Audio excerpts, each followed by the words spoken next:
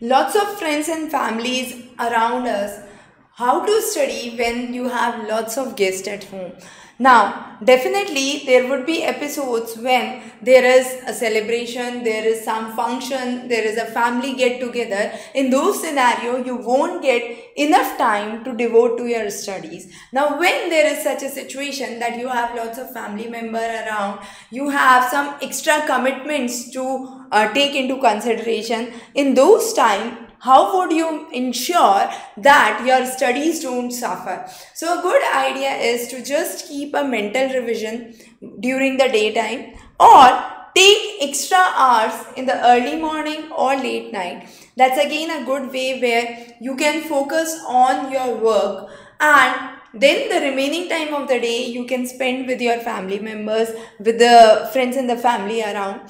Now another good idea is sometimes Guests are also a good way of enriching your knowledge. So, some of them would be having a common interest as you. So, a good idea is to interact with them. When you interact, you get to gain a lot of knowledge which is applicable in various fields. So, let's say you are a student pursuing 11th and 12th. So, probably interaction would help you build on your vocabulary, build on your grammar skills, which is essential for your core literature papers.